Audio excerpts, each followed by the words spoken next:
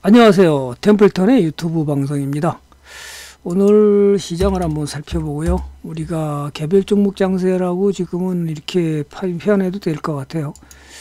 자, 어쨌든 상당히 일주일 동안 그 조정을 거친 다음에 하나, 둘, 셋, 넷, 다섯, 여섯, 일곱. 그죠. 일주일 동안 조정을 하고 다시 이제 재상승에 진입하고 있는데요. 자, 이걸 여러분 이것을 참아내는 게 굉장히 힘듭니다. 개인 투자자들이 이럴 때 거의 멘붕 상태에 빠지고요. 어, 손절하려고 그러는데 손절하면 여러분 돈을 다 잃어버립니다. 좋은 기업은 손절하려고 주식을 사면 안 됩니다. 이 그것을 보시면 자 오늘 투자 종합을 한번 볼까요? 음, 오늘 오래간만에 그죠? 오늘 날짜가 언젠가죠? 10월 왜 이렇게 됐지요? 10월 오늘 6일이죠. 6일날 오늘 처음으로 에, 어, 개인이 코스닥은 사고 개인이 그죠? 처음으로 어, 매도나 연구소 외국인이 1,700억을 사면서 상당히 좀 긍정적으로 봤다. 그저 긍정적으로 보고 있습니다. 그럼 일별 현황을 보면 지금 이틀째 지금 매수가 담하고 있죠. 외국인들이 상당히 이것은 긍정적으로 보는 것이 더 낫지 않나. 코스닥은 아직 그저 외국인들이 매수에 들어오질 들어왔다 나갔다 하는데요. 거래소는 이틀째 한 매수가 1,700억씩 들어오고 있습니다. 이것은 상당히 좀 긍정적이라고 보고요. 문제는 연기금이죠. 연기금이 참 뭐 17.5% 국내 시장 투자의 17.5%를 유지하기 위해서 판다고 그러는데요. 이 말도 안 되는 얘기를 한 행동을 하면서 이 연기금이 어떤 행동을 오늘 처음으로 지금 샀나요? 한번 볼까요? 일별 현황을 보면 연기금이 어떻게 됐나요? 아, 연기금을 보면 지금 어제하고 오늘에서 코스 거래소를 700억, 250억 그 그동안에 끊임없이 팔았죠. 한번 볼까요? 이제 뭐 매도가 끝났으니까 다시 사는 건가요? 말도 안 되는 얘기 좋은 기업 다 팔아먹고 뭔 돈을 벌어요. 자, 그러니까 이번에 비리가 엄청나게 연기금에서 터졌습니다. 마약에 불륜에 그저 몰카에 750조의 연기금 자산을 굴리는 국민연금이 비위 실태가 경악할 수준이다. 그죠? 경악할 수준이다. 이거는 그래서 제가 가끔씩 얘기했지만 국민연금을 가서 항의해야 된다 그랬는데요. 국민연금공단이 2017년부터 2020년 7월까지 57명이 징계를 받았다. 9월에는 최근에 9월 달에 대마초 피운 혐의로다가 직원 4명이 입건됐죠. 이런 상태에서 국민의 자산을 갖다가 엄청난 750조를 다루고 있다. 이건 미친 짓거리입니다. 솔직한 얘기는 미친 짓거리입니다. 정신이 멀쩡해도 굉장히 어려운 주시장인데 그 많은 돈을 관리하는 직원들이 이렇게 그저 불 그죠? 예, 엉망진창이라면 우리 국민들이 노후 보장이 될까요? 예, 걱정됩니다. 자, 어쨌든 이런 것이 뉴스에 계속 나오고 있습니다. 어, 지난번에 한번 네 명 대마초 혐의로다가 네 명 나오고 오늘 전체적인 실태를 발표를 했는데 심각한 수준입니다. 말도 안 되는 거죠. 너무 돈을 월급을 받으니까 아마 그렇게 하는 행동하는지는 모르지만 잘못된 행동이죠. 자, 오늘은 그래서 조금 제가 방송할 때마다 무료 방송할 때마다 강력하게 연기금이 지금 큰일 났다 큰일 났다 얘기를 했는데 실제로 이런 상황이 벌어지고 있다는 사실에 저는 또 한 번 경악하지 않을 수 없습니다. 자, 그러면 이제 우리는 그러면 개인 투자자들은 어떻게 해야 되냐? 예.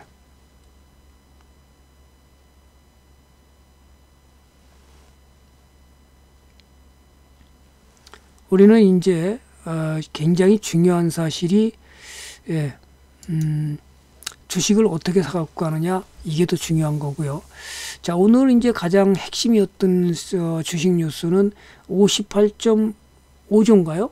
58.5543억 원. 예, 이것이 이제 빅히트 엔터테인먼트에 대해서 이제 청약 접수를 받았는데 공모를 예, 5,500 예, 43억 이게 천억 원이 적은 SK바이오팜에서 30조 예, 9,899억의 규모를 넘어섰죠. 그냥 50 금액으로는 넘어섰습니다. 자, 그러면 이제 경쟁률도 600대 1에 돼서 1억 청약 증거금을 넣을 경우에 두 주 가량을 받습니다.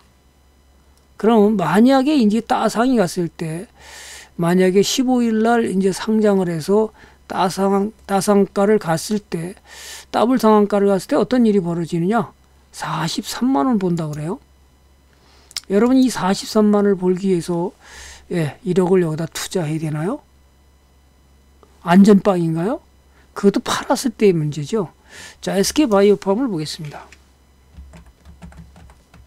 자, 이제 청약 물량이 문제가 아니라 나중에 어, 지난번에 보니까 어, 넷마블의 그 보호 예수기는 6개월로 제가 어, 뉴스에서 봤는데요. 정확하게 지금 여기는 지금 10% 떨어져 가지고 지금 스타상으로 간 이후에 여기까지 상한가 갔다가 지금 무너져 내리고 있죠. 여기서 산 개인 투자자들이 지금 심각한 위기에 처해 있는 겁니다. 지금 손실이 굉장히 커졌죠. 여기서 샀다 하더라도 지금 손실이 얼마일까요? 네, 상당히 많습니다. 자, 오늘까지, 오늘까지 지금 34%가 지금 빠졌습니다. 자, 그러면 이게 문제가 여러분들이 신규 상장 종목 시초가를 깨고 내려갈 때 조심하라, 조심하라. 야, 추세를 이탈할 때, 추세를 이탈할 때 조심하라. 왜? 이거는 캔들이 갈 때 그 다음에 장대 음봉에 거래량이 터졌으면 이건 무조건 팔아야 됩니다. 거래량 터지고 칼든 강도가 나왔을 때 팔아야 되는데 여기 가서 산 개인 투자자들이 지금 큰일 났다는 거죠. 여기서 좀 팔아줬으면 좋은데 그죠? 못 팔았죠 또. 이렇게 되면 이제 심각한 위기가 가죠. 자 여기도 봐서 예, 외국인은 그래도 좀 샀습니다. 기, 기관이 지금 자기 보호 물량을 갖다 왕창 털어버렸습니다. 자, 그러면 넷마블도 또 그럴 거예요. 3개월 보호 예수가 있고 6개월 보호 예수가 있고 1년 보호 예수가 있죠. 그걸 제가 어디 적어 놓은 게 있었는데 지금 찾으려고 그러니까 빨리 안 보여요. 음, 잠깐만요. 혹시라도 있나?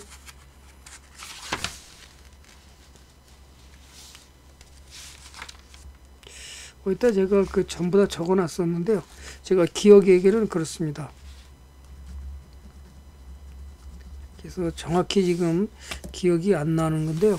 어쨌든 그 당시에 지금 보호 예수 기간이 3개월짜리가 있었고 6개월짜리가 있고 1년짜리가 있습니다. 그러면 물량이 털을 때 여러분들은 굉장히 어려움을 겪을 수 있으니까 따상이 간다 그러면 따상이 가고 추세를 이탈할 때는 빨리 빠져나오는 그런 예, 어, 굉장히 중요하죠. 음, 자, 물론 이제 이게 어떻게 될지는 좀 더 주고 봐야 되겠지만 우리는 음, 이걸 잘 이용해서 매도를 잘 하시라 이렇게 다시 한번 말씀드리고 싶고요. 음, 잘 안 보입니다. 제가 잘 안 보이니까 양해를 해주시고요. 그 다음에 설명을 또 들어가겠습니다. 음. 그 다음에 그래서 이 지금 경쟁률은 뭐 증권사별 좀 차이가 있지만 어쨌든 어 이것이 방탄소년의 매출 비중은 상당히 높긴 하지만 예, 이것이 시초가가 이제 어 최소한 12만 1,500원, 공모가가 13만 5천 원에 90%, 여기서 최대 27만 원 범위에서 정해져서 공모가액의 200%. 자, 그럼 따상이 간다고 그랬을 때 제가 여기 이제 뉴스에 나온 거 보면 43만 원 정도 본다. 자, 그러면 이것이 상당히 중요하다. 그죠? 음. 여러분은 그러면 이거가 공모 두 주 받기 위해서 어, 1억을 갖다가 여기다 넣고서 43만 원 벌자고 잘못 물리면은 이것처럼 물려버리면 어떻게 되죠? 손실이 커질 수 있음을 항상 명 기억하셨다가 예, 매도를 정확히 잘 했으면 좋겠다는 생각을 다시 한번 강조드리고 싶고요. 그때 당시에 나왔더라는 것이 또 뭐냐면 예, 음, 카카오 게임즈를 볼까요? 예, 카카오 게임즈도 그럼 어떻게 됐나요? 지금 떨어져 있죠. 신, 시초가를 돌파해서 따상을 만들고 올라갔다가 장대 연봉 나면서 떨어져 가지고 지금 얼마까지 떨어졌나요? 여기를 보면 자 이런 걸 보시면서 대응을 잘 하셨으면 좋겠다. 저는 이렇게 말씀드리고 싶어요. 대응을 잘했으면 좋겠다. 지금 똑같이 34% 정도, 33% 빠졌네요. 자, 이런 걸 보시면서 전 진짜 대응을 잘 하셔야 됩니다. 예. 자, 그러면 또 보겠습니다. 그래서 신규 상장 정보는 언제나 조심해야 될 것이 이런 것들입니다. 잘 몰라서 무조건 들어가기만 하면 돈 번다 생각으로 가는 것은 바람직하지 않다. 이렇게 말씀드리고 싶어요. 그래서 잘 대응하셔서 수익을 챙겨 나오는 전략으로 가시는 것이 바람직하다. 신규로다가 또 왕창 산다든지 그런 것은 저는 권하고 싶지 않습니다. 예. 그런 건 하지 마시고요. 자, 그럼 또 보겠습니다. 오늘 핵심은 지금 개별 종목 장세기 때문에 어, 가장 이제 중요했던 것은 지난번에 LG 화학이었었죠. 예, LG 화학이 무슨 일이 있었죠? 네, 바로 음, 테슬라의 배터리 데이 때문에 주가가 많이 하락했다가 저희는 이제 LG 화학 본주는 안 샀고요. 우선주를 주로 샀는데요. 우선주의 가격이 떨어졌다가 지금 올라가고 있죠. 한번 볼까요? 예.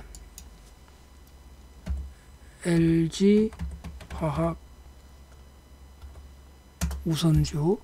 그래서 어, 저는 뭐 꾸준히 이렇게 떨어진 이후에 또 샀으니까 매수를 들어가서 그죠 매수를 들어가서 올라갔다가 다시 여기서 또또 매수 들어갔는데요.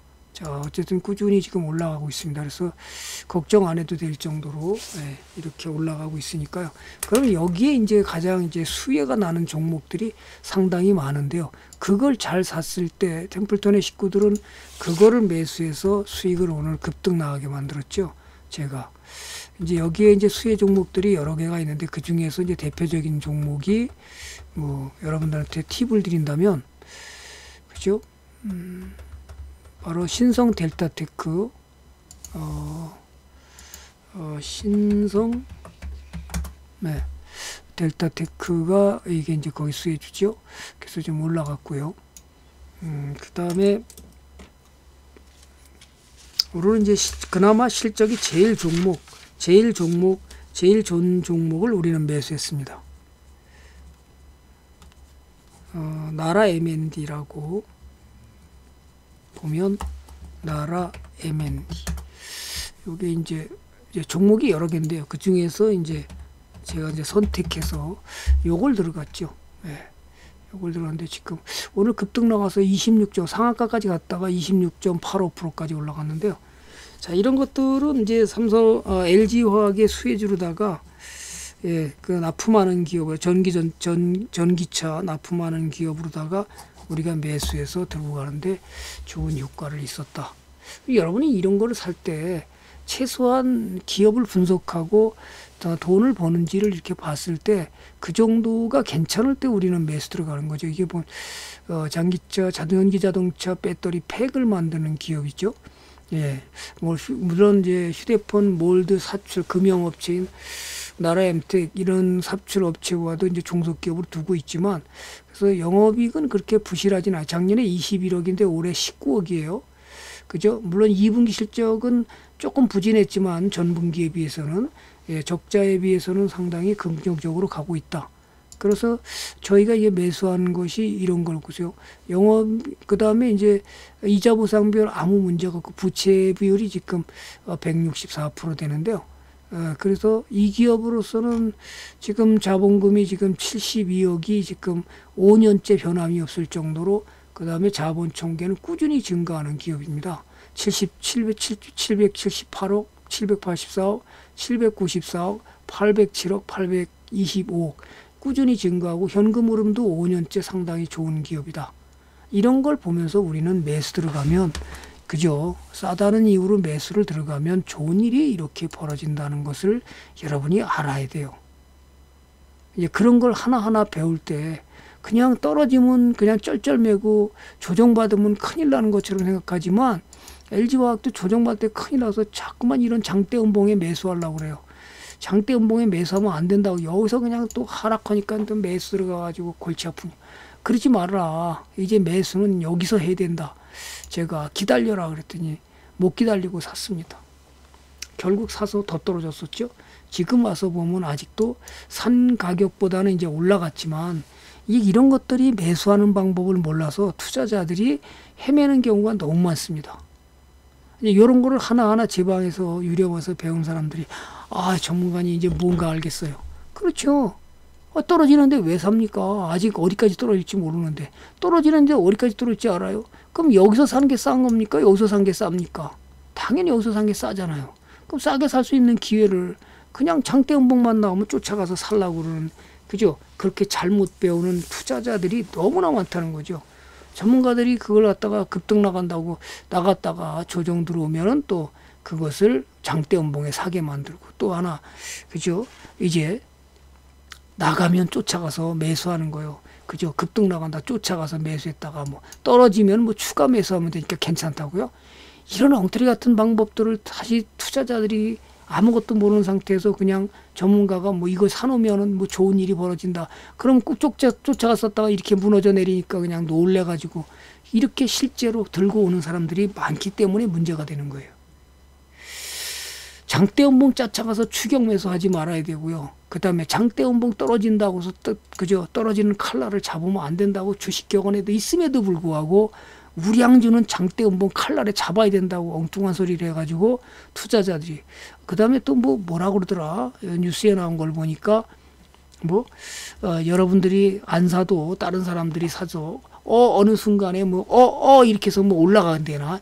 이런 엉터리 같은 얘기를 하는 그런 방에 가서 공부를 한다면 그건 심각한 위기에 가는 겁니다. 기업을 분석해서 그것이 진정으로 가치가 있고 실적이 개선될 가능성이 높고 기업이 돈을 잘 버는 기업에 여러분이 동업을 했을 때 이렇게 나라 M&D가 이 LG화학에 납품하면서 갈 때 이런 좋은 일이 벌어지는 겁니다. 이것을 기업 분석이라고 그러잖아요. 재무 분석을 안 보고 투자하려고 그러니까 자꾸만 급등 먹다가 깡통이 나는 거예요.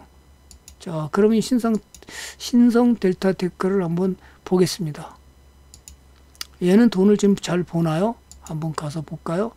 예. 얘가 예, 전기차에 들어가는 거죠. 여기도 음 2차 전지 사업 스마트폰 수요 글로벌에서 얘가 어, 확대를 해갔고요. 어쨌든 얘도 실적은 개선되고 있죠. 그죠?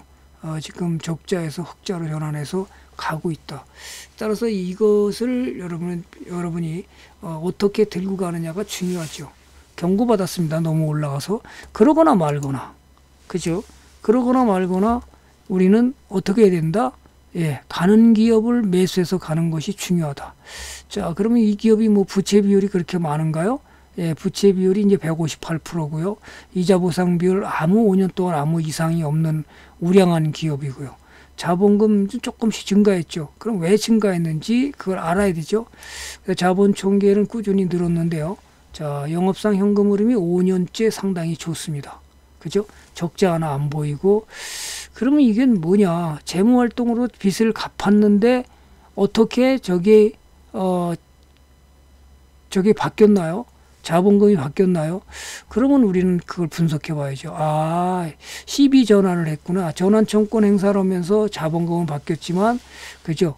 예, 과거에 CB 발행한 거에 대한 자본금을 바뀌었지만, 이 기업이 증자라고 그런 건 아니고요. 그 다음에 자본금, 현금 흐름도 상당히 좋고, 현재로서는, 그죠? 대주주 지분도 상당히 많고, 그래서 괜찮은 기업이다. 이렇게 판단했을 때 여러분 매수해서 가면 그것이 진정으로 투자가 좋은 일이 벌어지고요. 자, 이제 박스권에서 놀고 있으니까 여러분이 어떻게 매수해서 가야 될지 이제 알아야죠. 아, 그죠? 이런 것을 하나하나 내 것으로 만다는 투자 전략을 배우고 나면 주식이 뭔지를 알게 되고 이제 어, 기업 자체는 자산 가치 대비 1.26 상당히 싸죠. 그죠? 자기 자산 가치 1보다 겨우 넘어가는 종목이고요. 퍼는 54니까 이거를 보지 마세요. 그죠? 예, 퍼가 54라고 해서 무조건 주가가 더 이상 안 갈 것이라 이렇게 판단하는 것은 정말 착각이다. 그죠? 예, 그걸 잘 판단하면서 어떻게 가야 될지 어떤 식으로 매수해서 가야 될지를 여러분이 알아야 된다는 거죠. 그죠? 예. 그러면 나라 M&D도 마찬가지로 요거는 이제 LG전자가 보유한 기업입니다. 그렇기 때문에 제가 어, LG전자가 보유한 기업이기 때문에 특히 더 추천했던 종목입니다. 예, 그래서 이런 것을 예, 보유 기업입니다. 이런 것들이 LG전자가 보유하고 있어서 그것을 LG화학에 납품하면서 기업이 성장하니까 제가 2차전지 예, 앞으로도 LG화학은 더 커져야 되기 때문에 이런 걸 매수해서 갈 때 여러분이 돈이 커지는 겁니다. 그런 방법을 모르기 때문에 투자자들이 그저 급등상한가 먹다가 그저 잘못된 투자 방법을 하는 경우를 수두룩 많이 본다는 거죠.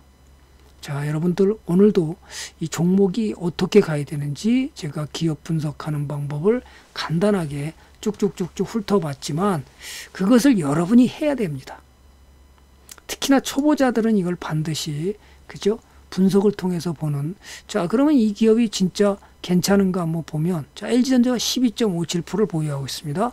최대 주주 여기 그죠? 어, 사장 대표이사가 지금 5.33%를 보유했고요. 그럼 대충 12%, 5%, 그럼 벌써 17%, 그 다음에 20%, 23%, 24%, 25% 정도 보유하고 있는 거죠. 대충. 자, 이런 걸서 그러면 이게 기업이 갖고 있는 기업이 분산의 요건에 어느 정도 돼요. 나머지 74.80%가 어떻게 돼요? 유통 물량이잖아요. 그죠? 이런 걸 보면서 여러분이 아, 좋은 종목을 어떻게 가는 거구나. 그런 걸 판단하면 확실하게 내가 안정적으로 갈 수 있고 투자로 인해서 이 기업이 망하지 않을 기회는 확신할 수 있고요. 정비별로 일단 나가면서 그죠? 여기서부터 정비별로 나가면서 코로나 이후에 3월 달에 정비별 별로 떨어지지도 않았죠. 정비별 나가면서 이제 수익이 커지기 시작했죠.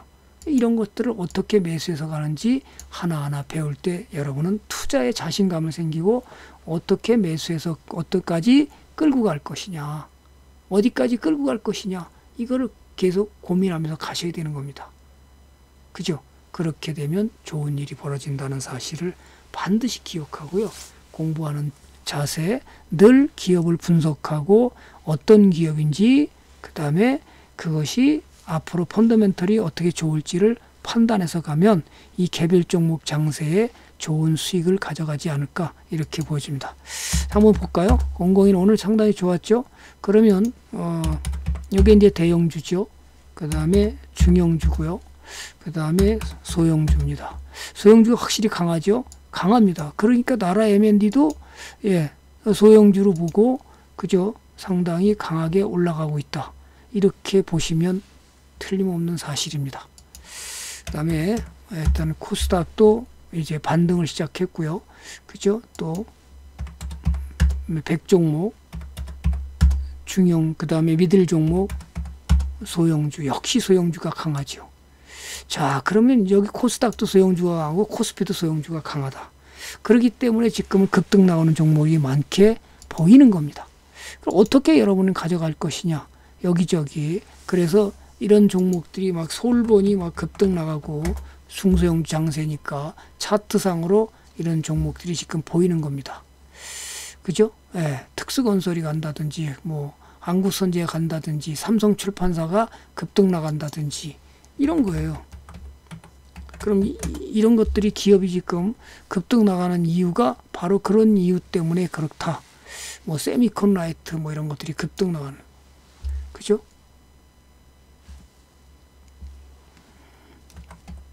이런 개별 종목 장세가 실제로 그러면 우리는 이게 좋은 기업인지 아닌지를 봐야 되는데 봐요.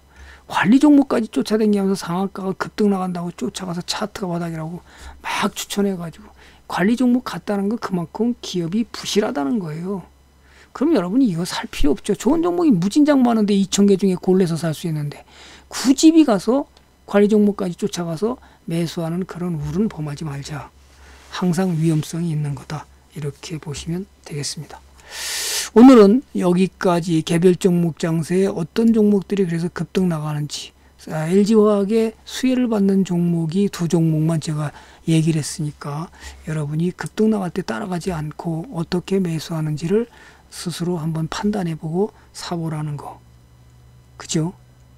잊지 마시고 요걸 잘 활용하시기 바랍니다.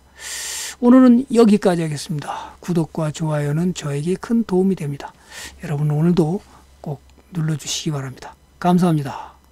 행복 투자로 모두가 부자 되시기 바랍니다.